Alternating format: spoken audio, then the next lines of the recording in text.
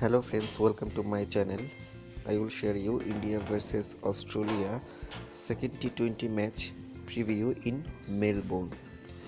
Toss rainy ground. I think toss winning. Captain chose to bowl first because it's a rainy ground melbourne.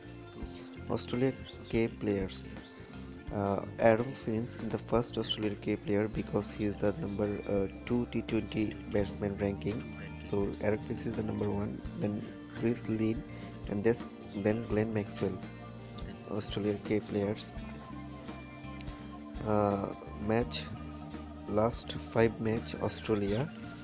Uh, last five match Australia won. Uh, previous match India beat Australia. This is one and then lost, lost, lost, lost so total large five australia lost one and now india k players india k players is the rohit dhawan and virat kohli.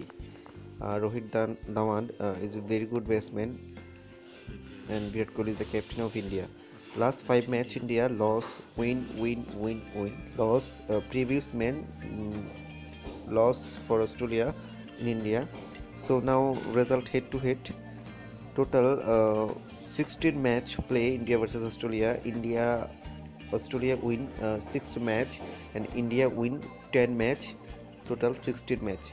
Rate india rate 1.8 and uh, australia rate 2.08 in bet 365 so friend thank you for watching this video match preview. I will share share uh, next preview match. So, subscribe my channel and connect with us. Thank you so much for watching this video. Thank you